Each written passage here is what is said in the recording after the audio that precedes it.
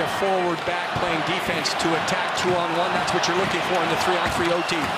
Hertl cuts to the middle on the backhand. Hertl opens up. Dekes again, circles the net, wraparound score.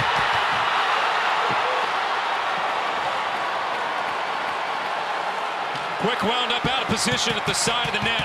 Wound up being an open six by four, and the Sharks win it in overtime. Yeah, Hertl, he ended up going with that one-on-one -on -one we were talking about, but then he carried his pace behind the net.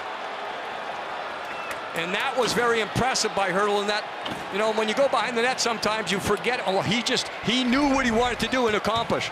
So coming back at you. The switch of the side, so ends up right here. You see it's Trevor Moore, number 12 for the Kings on that last one-on-one. -on -one. That's what Hertl and the Sharks are looking for. You're looking to isolate a forward, and the crisscross does it.